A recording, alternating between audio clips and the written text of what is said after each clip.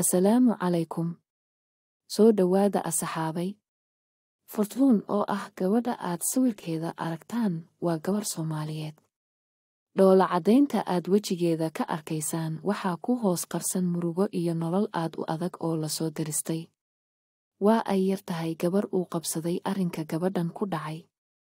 Bal qisadeeda xanuunka badan aan kula wadaagee ila dhegayso kadibna sii sheergaree una soo duceeya maskiintan haddii sheekadani saamayn kugu yeelato beejkeenna soo falow garee soona layg garee insha allah.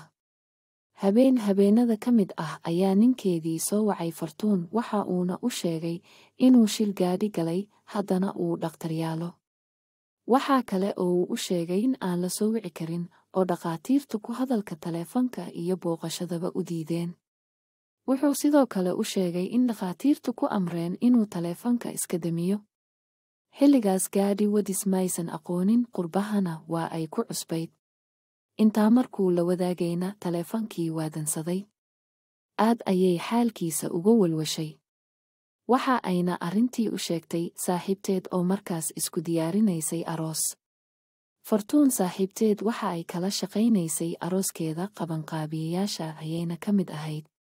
Fartuun ayaa aroosaddii saaxiibteed ahayd ku tiri saaxiib ninkaygii oo aabe iyo hooyaba iyahaa ayaa shilgaari iga galay taleefankiisiina waa dinsan yahay.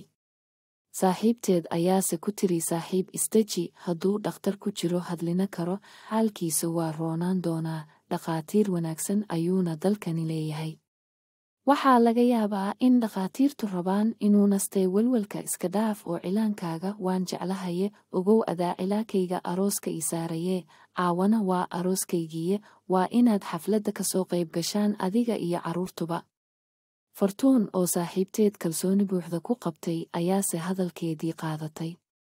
Cilaankii arooska iyadaa saaxiibteed u saartay. Ciyaalkii iyo iyaduna waxa ay ka qayb galeen xafladdii arooska xafladdii markay meel dhexe marayso ayaa qofkii xiriiryaha ahaa ku dhawaaqay in arooska iyo aroosaddu soo geli doonaan. Sidaa darteedna sacab lagu soo dhoweeyo loona istaago. Fartuun meeshii ay fadhiday ayay sacab iyo mashxarad kala istaagtay iyadoo ilmaheedii yaryaraana ku leh hooyo istaaga habaryar iyo ninkeeda ayaa xafladda soo geli rabee. Waxaase dhacay arrin farxaddii fartuun islamarkiiba u beddelay murugo caruuska saaxiibteed aroosayaa waaba ninkeedii ay ka welwelsanayd una sheegay inuu shilgaadhi galay isbitaalna ku jiro. Saaxiibteed ninkan ay aroosaydaaba waaba ninkii fartuun qabay ee ilmaha u dhashay. Carruurtii ayaa tidhi hooyo waa aabe. Fartuun muraal dilaac ayaa ku dhacay. Khiyaanadda saaxiibteed oo ninkeeda isku taqaanay ayay qaadan weysay.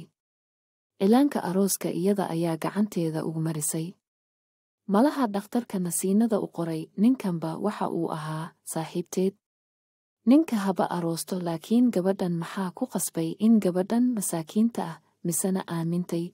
Saaxiibkana ka dhigatay iyo weliba carruurta yaryar ay sidan ula dhaqanto. Dumarku si kasta oo ay isugu fiican yihiin maxay xaasid isugu noqdaan kadib marka laysla guursado? Buuq badan oo meeshii ka dhacay kadib fartuun iyo ciyaalkii gurigoodii ayaa loo kaxeeyey waxaa meeshii laga waday iyagoo oynaya oo qaadan waa ku dhacay. Ugu dambayna ayadoo xaaladdii xanuunka badnayd ku sugan ayuu furay. Fartuun waxaa isugu darsamay furiin masayr iyo khiyaano.